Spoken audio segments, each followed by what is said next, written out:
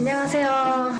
안녕하세요. 김연아입니다. 요즘 방에 혼자 있는데 이런 거 되게 어색한데 음, 오늘은 아침에 운동을 하고 또 우유 전달식이 있어서 사인 100장을 하고 맞고 이렇게 화장을 하고 머리도 좀 곱슬곱슬거리는데 지금 9시 반인데 자야 될 것 같아요. 너무 피곤하고 우선 오늘의 일정은 다 끝났기 때문에 이걸로 맛을 마무리를 짓고 끝내겠습니다. 안녕. 안녕히 계세요.